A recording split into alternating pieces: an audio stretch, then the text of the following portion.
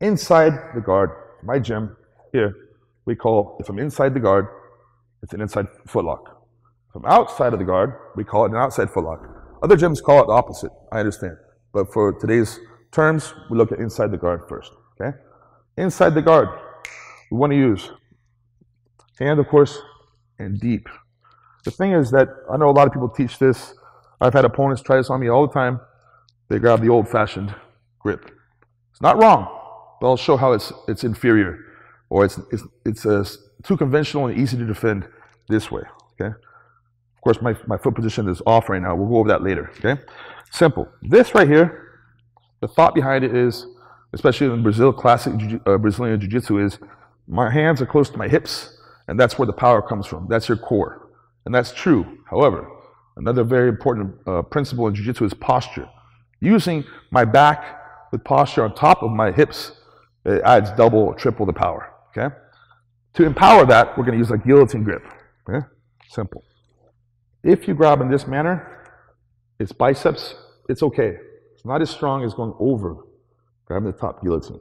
This is like an Olympic lift. You see Olympic wrestlers, Olympic powerlifters using this lift, not this lift. It's not as strong. Okay? Grab over, and we're going to pinch yeah, opposite directions. Okay? My chest goes toward you guys, and my elbows pull to myself. The opposing directions has a lot of uh, uh, has a lot of power in the movement. Okay, it's not a big movement, but it's extremely powerful. You can even do this with one, with one arm with time. One arm you can do. Okay, so I'll show the old-fashioned way, of course. Simple, simple. Okay. Foot position is off right now. We're looking at just the hands. Okay, this right here First of all, the guy oftentimes will grab my hand and pull it off. Okay? That's one problem. Second of all, it doesn't hurt as bad, it's not as damaging as if you're higher. You, can, already already feel it. It's different. Okay? So it's important when you're inside the guard, we're going to go right here. It's going to catch right on this hook. That's where you want your arm placement. Here, you want to use the middle of the form. I know people teach different stuff. My way is not the only one that works, but it's very successful at the highest level of competition in the world. I feel like the toughest guys in the world finish them with footlocks. This really does work. Okay? If you use the shallow part of your wrist, I know a lot of the Russian guys teach this. I understand, and it's a sharp area and it hurts, and it can work. However, it's too shallow, in my opinion. If you go low, there's a lot of space. You see, see that space in the elbow? It's a lot him to move his foot, and he feels it, but he can wiggle his foot, and if it's slippery, he's going to slip out. Okay? Exactly. If you go very deep and use this part, a lot of classic jiu-jitsu guys use this, and also they'll grab their own kimono, which is effective. Very deep. Not space, but it's more cushiony. Even if you have hard muscles, it's soft. It's softer than the bone. Right here in the middle, and I actually have slightly deformed arms because of footlocks, which uh, I'm not uh, upset by. It's no big deal. I use my body for what I love to do, and that's jiu-jitsu. In this case, it's footlocks. This area is sensitive on your arms. It's very sensitive, okay? but you can make it much tougher conditioning wise here. Now, I have the bone because I'm not too shallow. I'm right here. And I close the space off with my elbows bending to my ribs. Okay? Low, right here in the middle. So turn a little bit. There we go. Simple. I'm not too deep. It, this can work, okay? And this also can work. Okay? But I want to right in the middle, lock the guillotine grip, and look at this. I turn my, he already feels it, okay? The guy should be feeling the pain before you fall back. When you fall back should be the finish. Most guys will tap before I fall back, actually, okay? This is loading it up, and you feel it, okay? Left foot position should be, to start to learn, block the hip here. I'll show in a minute what the other foot should be doing, okay? Block. I know people teach to fall to the side, that's fine. But just to keep it main in the same direction, let's keep it up, okay? Up. Now he feels it, okay? It's all the power in here with my hips. My hips are not activated yet. It's on top. My back is on top of my hips. So I'm using them. But I'll finish with the hips and my legs. I start, I load here. Okay? Like a shrug.